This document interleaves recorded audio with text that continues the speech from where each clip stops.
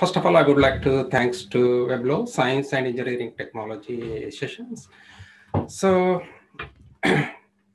this is uh, like uh, Miryala Shibaura Institute of Technology, Tokyo. Today I'm going to speak on superconducting technology and its uh, significance towards the United Nations Sustainable Developmental Goals.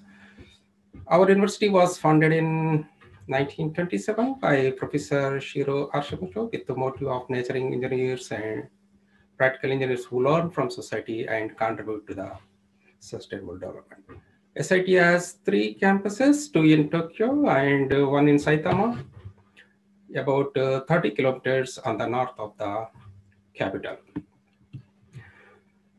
So here is overview of my presentation. First, uh, I will present the SIT strategic goal and global activities. Uh, then I will give self uh, introduction. I will show importance of LRE 123 bulk material. Uh, so basically I'm working like uh, LRE BA2CU3 and MGB2 and iron-based materials due to the time limit. For just we will be cover uh, LRE BA2CU123 material. I will show importance and development of LRE123 materials, uh, some specific applications, healthcare. It will cover to the SDG3 and water purification, SDG6, permanent magnetic system, SDG3 and SDG9. Uh, then eventually I will show like some of the transport applications and power transmission. So finally, I will present the concluding remarks. So our strategic goal is uh, top 10 technical universities in Asia towards the Centennial Society Act 2027. We choose three ranking systems to achieve the goals like QS, THE, and uh, Thomson Reuters. So here is the uh, summary of the SMART program toward the SDG strategic goal. Here we can see like uh, several programs we are adapting to reach our strategic goal like a PhD innovative program has been very successful and effective increasing the number of uh, international peer-reviewed papers. In this case, in the pilot project, we are selected the IIT Madras.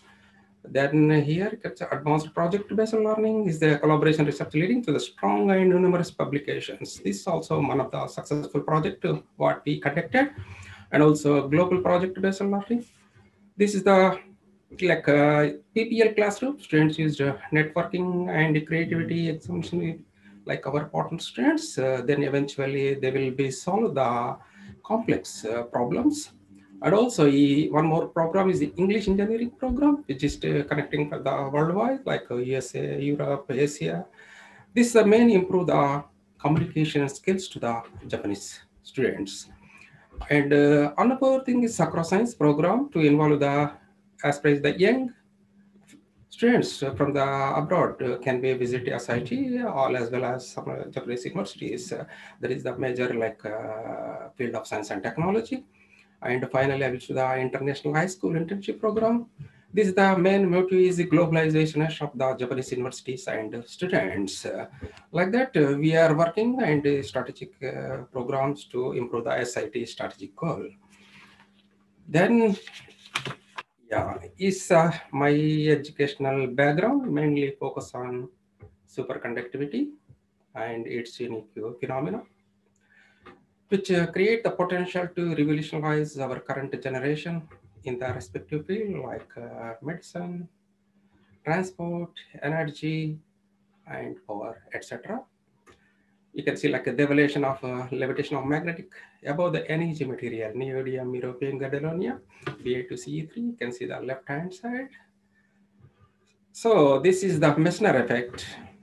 Due to the nano pinning media, we will call the pinning effect.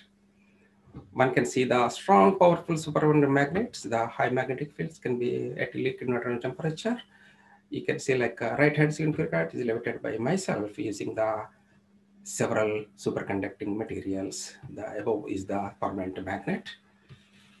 So the new phenomena was attracted many outstanding applications at 77 Kelvin. We can see like uh, transport, medical field, and uh, especially like recently we are working like a MRI, NMR, drug delivery system, and uh, designing of the water cleaning equipment, etc. So this everybody knows, like uh, in 1911, superconductivity was first observed in the mercury by Dutch physicist H.K. Onnes. When you cooled it, the temperature of the liquid helium, like 4 degree Kelvin, that is like uh, 4.2 Kelvin minus 269, its uh, resistance suddenly drops. As a result, in 1913, Nobel Prize was uh, obtained from the Kamerlingh Onnes the another interesting phenomena, like uh, when the material makes the transition from normal to superconducting state, uh, it uh, actually excludes the magnetic field from the interior. This is called the Meissner effect. This was observed in the lead and some of the uh, tin materials. As a result, and Meissner is uh, found the again Nobel Prize. You can see, but here uh, in the perfect diamagnetic state, if you apply the SCL more than like a thousand Gauss, automatically it will become to the normal. As a result, and uh, 50 years, uh, not many applications in this field. Almost only we can say like uh, high field applications are zero. But uh, however, like um, this, the when we discover the like type two material, like a modern type two materials are I can say like a YBCO, yttrium copper oxide. Of course, uh, in the 1960s, niobium tin and niobium antimony were discovered. That is also type 2 material. Here, uh, in order to separate the, we can see like uh, two type of uh, materials. Like uh, in this case, we can see like SC1 and SC2. That is a mixed state. This is like uh, it is like a permanent diamagnet. It can be during the SC1, SC2, below SC2, material will talk to the normal conductors. Before like uh, below SC1, the type 1 material, uh, type 2 material becomes to the type 1. This is a mixed state. Magnetic flux can be entered inside the material. As a result, and one can expect like uh, strong, powerful magnets. so now I will move to the development of LRE123 bulk material. Here we can see the LRE is equal to neodymium, samarium, gadolinium, erbium, NEG, any material can be, uh, it will be yacked.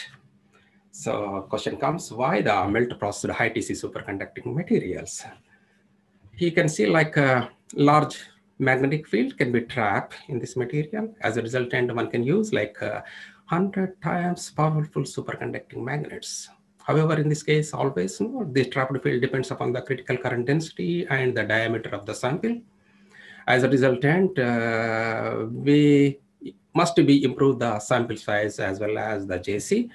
We successfully made the samples like 33 centimeter to 140 mm. This is one of the world record. And also we made it like a superconducting magnets. Like you can see like a big trapped field at 17 Tesla at 29 Kelvin is the SRL where we are working. And also like 17.6 Tesla at 26, the Cambridge also reported this the materials for how it will be useful for the real application. And also uh, what I showed, like uh, even though like uh, 90 Kelvin, close to the superconducting transition temperature, one can make it like 1.5 Tesla superconducting magnet. This no all or this uh, very like uh, one can use like such a strong super magnets for directional applications. But here JC is the one of the important. We try to improve the JC. This is the basic material. Any material like LRE123 material, one can produce like uh, raw materials, grinding, and sintering calcination from the several times. Then we are going to the pressing. Finally, one can make it like samples, like raw material, like sintered uh, forms. It can be heat up to the 211 plus liquid region, then cooled below the peritectic temperature this is one degree centigrade per hour. As a result, one can get the fine, strong superconducting supermagnets after oxidation from the several hours. This is the development of how we are improved the JC, but everybody is working when I joined in the uh, 20 years back in the STEC, uh, they are all working like a single grain materials, but the, our main idea to improve the critical current density. Then we tried like a single binary and ternary. Now just today, I'm just, I want to show some of the results in the ternary. You can see like a ternary compound is a high flexibility tolerating the, their material performance. So you can see here, we see the NEG, one is to one is to one, Then uh, you can see like a, this is the blue curve, that is the YBCO this uh, if you apply the external like magnetic field it's almost all fair this in 4 tesla there is no current. But in the case of uh, when we working the energy one can make nano 211 particles as a resultant. We made the patent as well as like you can see like uh, 2 tesla 50 kiloamps during the time there is the one of the world's uh, record. But advantage of this material no? One can use the neodymium europium gadolinium the ternary compound are highly flexible in tailoring the material performance. One can see like uh, the improvement of a achievable stability in the NEG is the basically like it is 77 Kelvin. That is one of the cheapest like liquid nitrogen temperature around 15 Tesla. Like uh, this is the one of the world highest reversibility field so far reported in the bulk superconducting material at 77 Kelvin. So when you see in this uh, like even though 4.5 Tesla, even though 70 kilometers per centimeter square, then we analyze why such high field, high trapping can be observed in this material. And then we check the AFM, atomic force microscopy, scanning electron microscopy, and uh, TEM and STM. Just we are giving the right side the time transmitting electron microscopy. We can see like a correlated pinning disorder, nanoluminar structures originate from the chemical composition. This lead to the enhancement of flux pinning around 14 Tesla. Then uh, similarly, we tried like, uh, you can see some the zirconia based uh, nano pinning was observed in the on the same material in controlling the ball milling process. This is the new nanometer pinning media, which size is around 20 to 30 nanometers we compose the zirconia based uh, material that is a 211 that as a result and you can see like uh, 96 kelvin we can see the 80000 kiloamps per centimeter square at self field however in the case of 90 kelvin it is like around 20 to 50 kiloamps per centimeter square. As a result uh, enhanced the first time levitation at oxygen temperature that is 90.2 kelvin. You can see the bottom of the figure this is the TEM clearly indicate like uh, small nanoparticles that is like a zirconia based 211 material. So this is also a first report what we, this enhanced pinning in high temperature enabled to the levitation experiments in uh, liquid oxygen, 90 Kelvin, that the basis of uh, several industrial applications, uh, the non-contact liquid oxygen pump from the, utilize the hospitals as well as space applications. So, however, this um, major issue is the we observe like a very high critical current density as well as high reversibility field, but the major issue is the cost. So how? Uh, sorry. Then next question comes: How to reduce the price of these materials? So then we tried to use the solve this problem, like batch processing is the one of the major, major important. Batch processing means we need the, especially like uh, proper seed crystals. In this case, we use the neodymium 123 thin film based MgO seed crystal we developed. As a resultant, we produce the like uh, number of batches that the price is reduced like more than 50%. Now one can make it like uh, utilizing the such a LRE123 materials uh, batch production is very common in this case, like a, uh, uh, a better, like a large volume of the furnace is very important and uh, temperature gradient, we made it like uh, almost on the uniform less than two degrees centigrade temperature. This is the one of the major issue. issue. then is this is like a Human levitation disk, the melt processed YBCO. When we used like uh, more than 200 bulk samples. However, if you use like uh, high performance gadolinium 123 or like NEG 123 material, just 45 box is very, then it will be generate like a large trapped field as a result and one can levitate very easily to the human beings. So this is like a, this like very, very important uh, to improve the performance of bulk material like uh, heavy to levitate the heavy objectives as well as to use some specific industrial applications. Then I will move to the some specific applications like uh, I will start uh, ITC applications and it's uh, useful for the SDG goals. This is the superconducting superconducting magnets. Uh, normally we can use like a SDG 3, good health and uh, well-being. This is the main idea. For example, medical application, a novel medical treatment without surgery can be possible.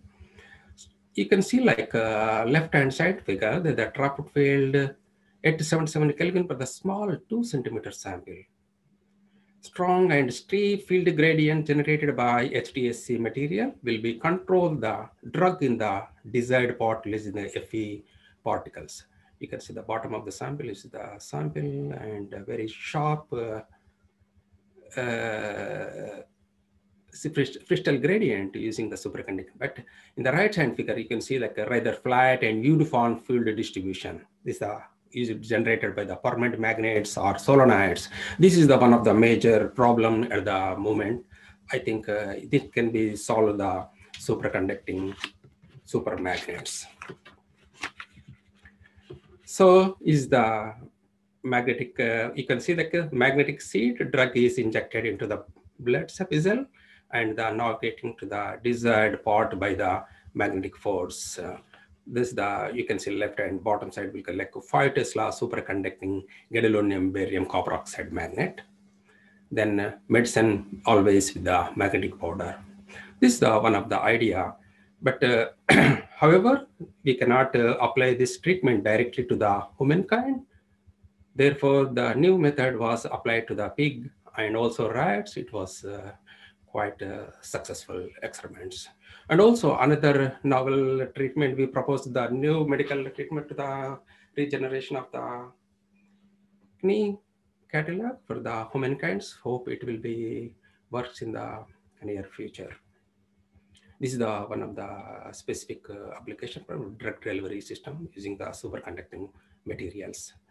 And also like uh, the, the magnetic uh, separation by using the bulk magnets is effective for the practical water purification system. In this case also one can use it like a high powerful superconducting bulk magnets. Normally not one can make like uh, clean the ponds or lakes using this technology because uh, earlier this the filters is the one of the major problem right now but if you use the bulk magnet more than 5 tesla it is very easy to clean up the filters and the we basically in the laboratory it automatic we did uh, we found like uh, over 90% removal of the particles high speed water treatment compactness you can see the right hand like uh, before and after the uh, water treatment this is the basic idea we developed in the ISTEC.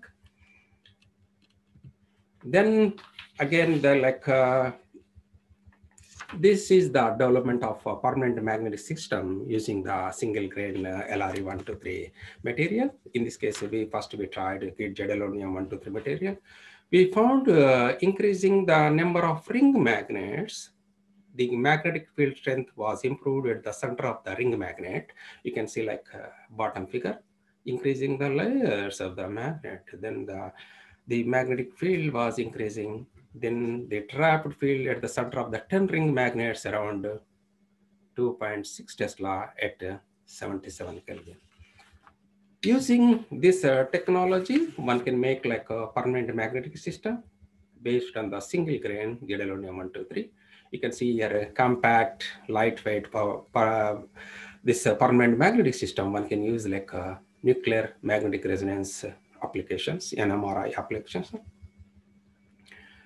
like that uh, is uh, several applications one can use like uh, using the bulk superconducting supermagnets. Next, uh, I will present the transportation application, which will be covered the uh, SDG 13, SDG 7, like uh, clean energy and climate change. So maglev i think uh, in japan so many people are know it's like uh, maglev research was started in january uh, in around the 1960s uh, first experimental maglev levitation train was successfully demonstrated in ML100, that is the right of the figure. Maximum speed is uh, 60 kilometers per hour. Weight is 3.5 Tesla. Seating capacity 4. And also it was uh, completed and successfully showed in 1977, uh, 72. And Japan National Railway focused on the development of maglev technology in 1970s. Then they showed like a 17, 7 kilometer track, I think, uh, maglev research center at uh, Miyazaki. Then they successfully made it. Then August 2013, they moved the like uh, Yamanashi Test Center.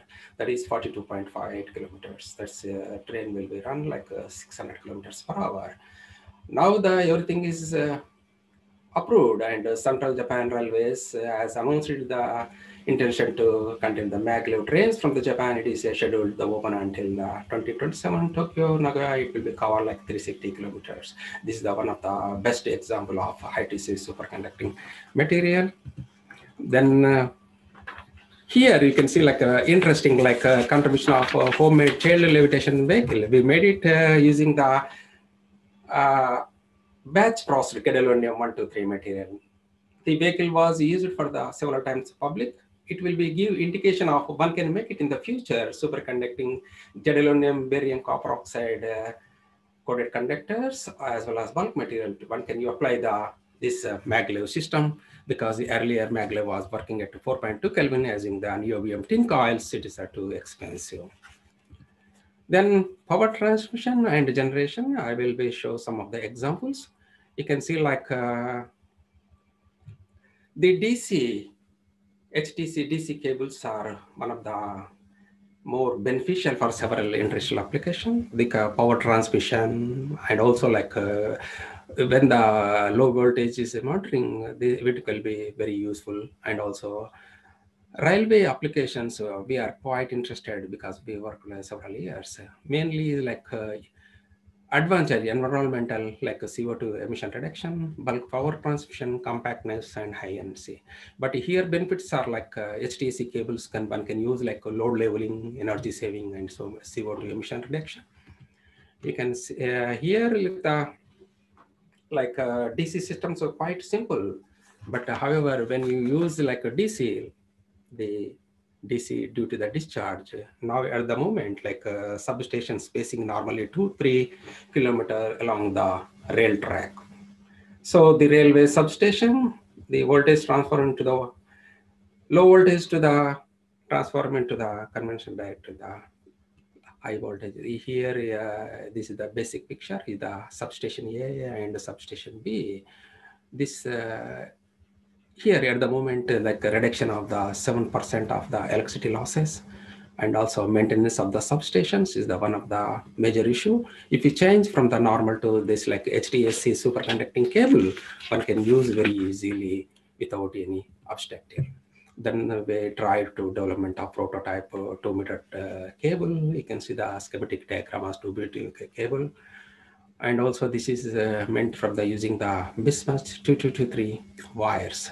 Here, uh, uh, bismuth 222 wires are rolled in the copper tape.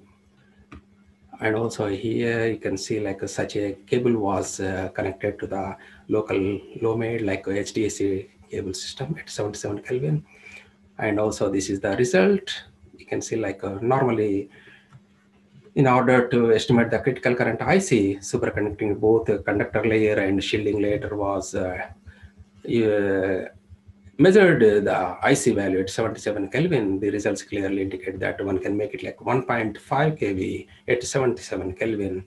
In order to obtain the lower temperature, we also tried and we obtained like uh, below 77 Kelvin, very high critical currents to further to improve this one just we tried the another like uh, five meter long bismuth 223 cable and uh, here you can see the left side side testing the from the full bath of the nitrogen seven 77 show the photograph.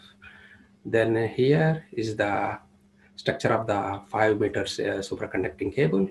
You can see like a conducting layer and shielding layer to protect the fault currents, we also use the copper layers as a result. And uh, here the 77 Kelvin data, one can see like uh, one microbit criteria, we can make it like uh, 10 kilo amps power at both layers.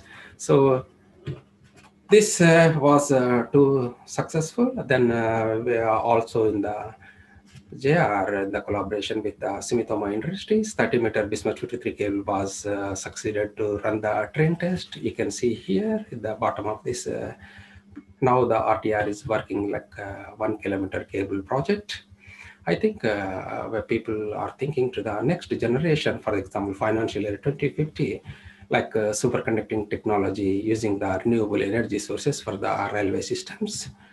So um, and now the they are preparing like a one kilometer train track from the nuclear the Kokubunji area. This is the one of the best example to utilize the superconducting technology for the railway systems. So the economic growth, uh, world peace, and uh, future development of uh, global communities require the production of the new materials to improve the quality of the life I think uh, superconductivity in general allow for the 100% current transmission without losses. Uh, this makes uh, it a super valuable resource for the sustainability in many aspects. The high temperature superconducting materials uh, definitely help the uh, to improve the day-to-life applications and several attractive options for achieving the sustainable developmental goals. Uh, I would like to thanks to the Professor Tanaka, former director of the SRL, and Professor Murakami Sensei, the president of SIT, and uh, Dr. Tomita from the director of TRI. Thank you. Thank you very much for your attention.